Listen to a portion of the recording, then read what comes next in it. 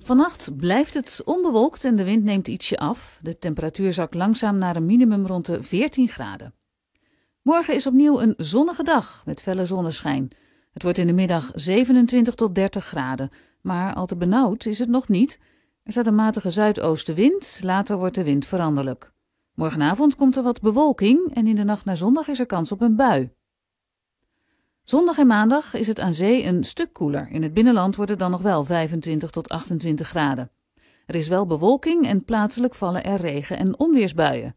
Ook dinsdag is er een goede kans op buien. En daarna is het droog, maar wel een stuk koeler.